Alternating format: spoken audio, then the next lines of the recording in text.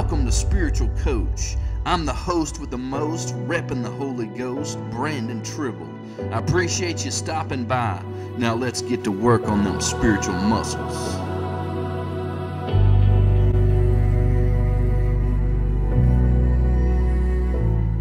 Hello and welcome back to Spiritual Coach.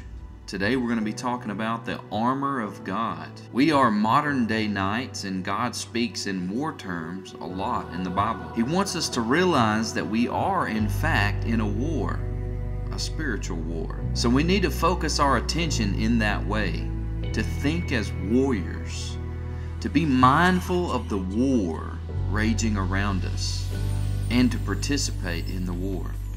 Listen to these scriptures 2 Timothy 2 4. No one engaged in warfare entangles himself with the affairs of this life, that he may please him who enlisted him as a soldier. Now, who are we pleasing?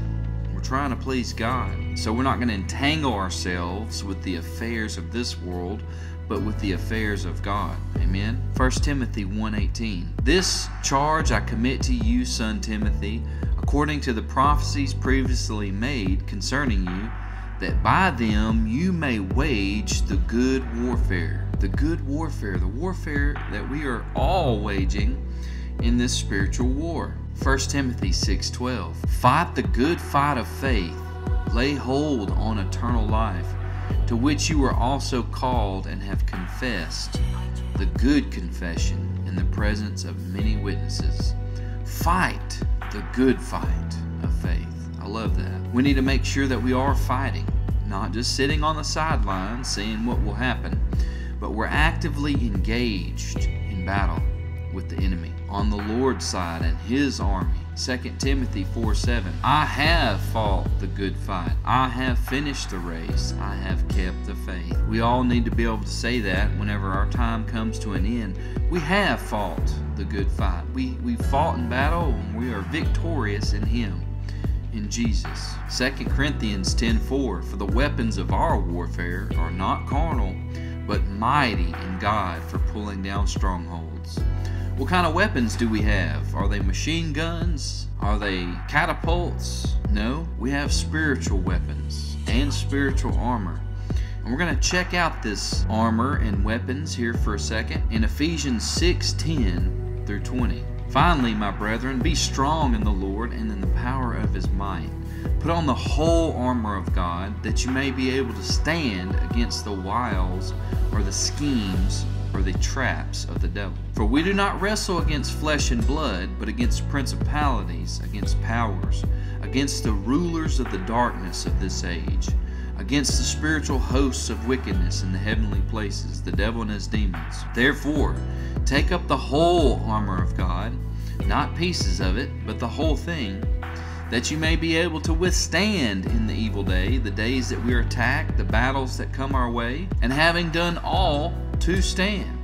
Done all that we can do. Stand, therefore, having girded your waist with truth, having put on the breastplate of righteousness, and having shod your feet with the preparation of the gospel of peace. Above all, taking the shield of faith, with which you will be able to quench all the fiery darts or arrows of the wicked one, and take the helmet of salvation and the sword of the Spirit which is the Word of God, praying always with all prayer and supplication in the Spirit, being watchful to this end with all perseverance and supplication for all the saints, and for me that utterance may be given to me, that I may open my mouth boldly to make known the mystery of the gospel, for which I am ambassador in chains, that in I may speak boldly as I ought to speak. Now let's break down this armor and weapons for a second. We're going to talk about the belt of truth. The belt of truth is used for upholding you in your way,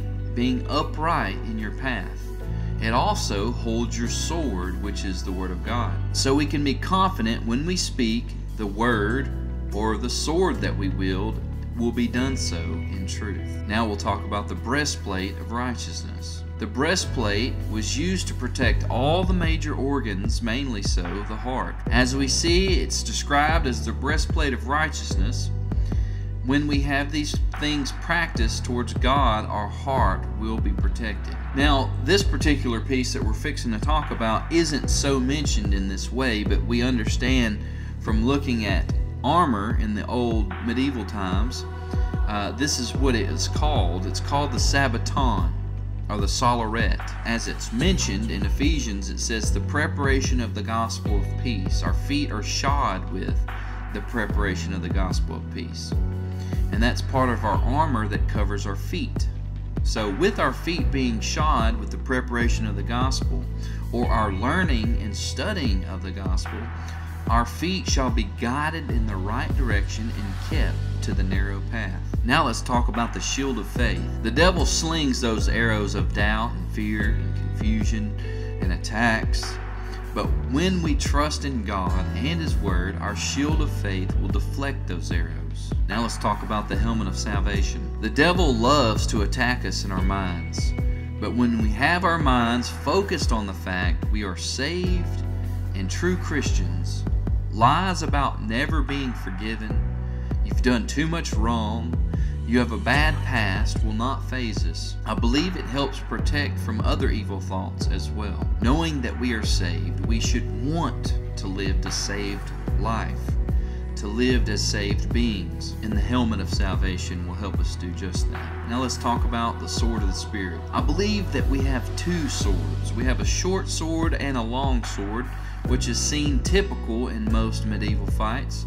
Uh, medieval battle, you would have a short sword and a long sword. So, as what I would determine, a short sword would be our memories. And most of us don't have that great of memory, so that we're very limited to the amount that we can store in our brains. So that would be our short sword.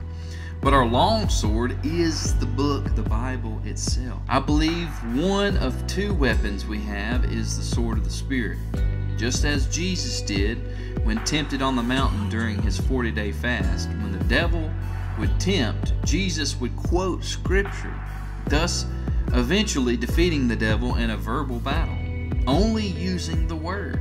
Let us remember to take the same approach, for when we resist the devil, he will flee from us. Now, this is only speculative, but the final piece of weaponry I believe God has given us at least mentioned in Ephesians, is a bow and arrow of prayer. And although it doesn't mention bow and arrow, we can look at what a bow and arrow does. It shoots to far distances. And it does mention prayer quite a bit there in that passage. This final piece of weaponry is only speculative, like I said, but regardless, naming it so is besides the point. I know that prayer is definitely a weapon, and a bow and arrow describes it correctly.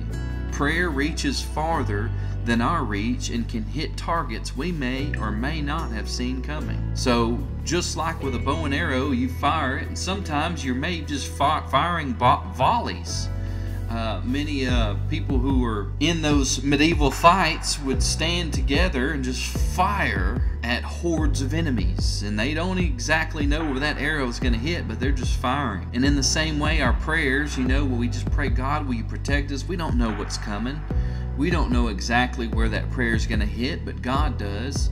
And we fire them all the same. And I believe those are a great example of the seventh piece of armor and weaponry that God gives us. Another piece of weaponry that I believe that God gives us is using the name of Jesus itself. His name is above every name. And at the name of Jesus, demons tremble. And I believe that when we rebuke the devil in the name of Jesus, there is power. So, with that being said, I pray that you wage a good warfare I pray that you put on your armor and use your weapons and fight against the devil. Don't be an easy target, but fight back. Use your shield, use your helmet of salvation, use your sword, use all the pieces effectively. And I pray that God will help you to be great warriors for Him and His kingdom. God bless you. Stay tuned to the next one. See you later.